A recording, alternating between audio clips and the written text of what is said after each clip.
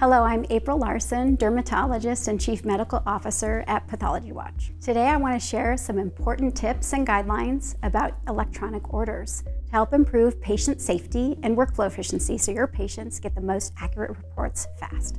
While the specimen and requisition travel to the lab, many dermatology EMRs have the ability to send e-orders ahead to the lab.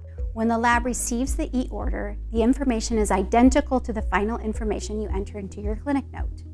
The physical specimen vial is easily scanned and matched to the electronic order when the specimen arrives at the lab, and then the specimen can move immediately to the next step in processing. The final report is also more likely to be received correctly through the EMR interface when e-orders are received. Currently, less than a third of the cases that arrive at the lab are accompanied by an e-order at the time the specimen is received. When the e-order is not received before the specimen arrives at the lab, it requires manual entry of the information contained in the e-order, which takes additional time and can be prone to error.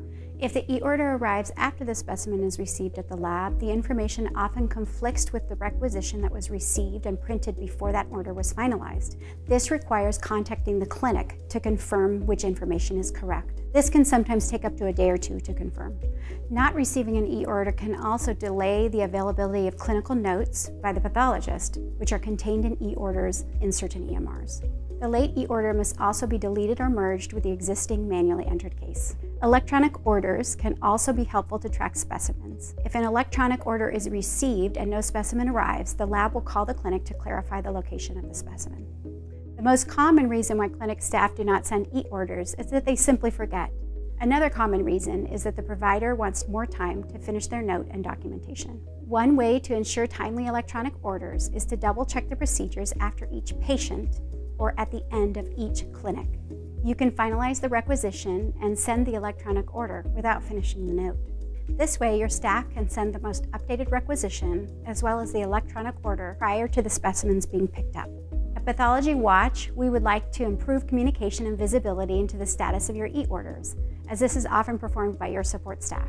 In the near future, we will be sending system emails about the status of your e-orders, which we hope will help streamline communication about specimen discrepancies and other issues.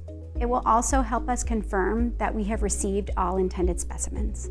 Partnering together will benefit patients as well as help pathologists provide the most accurate and timely diagnosis. If you have any questions about e-orders, please feel free to reach out to me anytime or also to your Pathology Watch sales rep.